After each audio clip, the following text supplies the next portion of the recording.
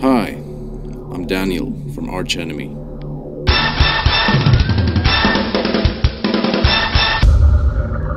I was looking for a snare drum with a great dynamic range.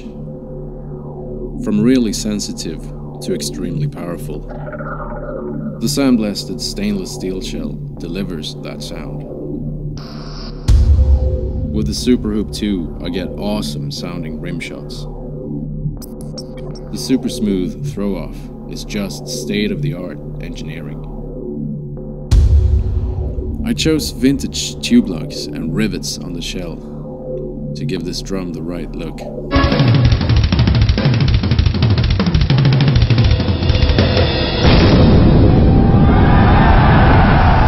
This is me.